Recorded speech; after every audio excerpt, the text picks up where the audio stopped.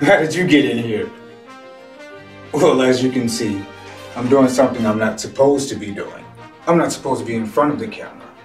I'm supposed to be behind the camera. Got you. You're supposed to be in front of the camera, not me. This is your seat. Come take it, please. Right here. Come on and tell the world about your Peoria life. Widecast Studio, 707 Main Street, downtown Peoria. Have a good one.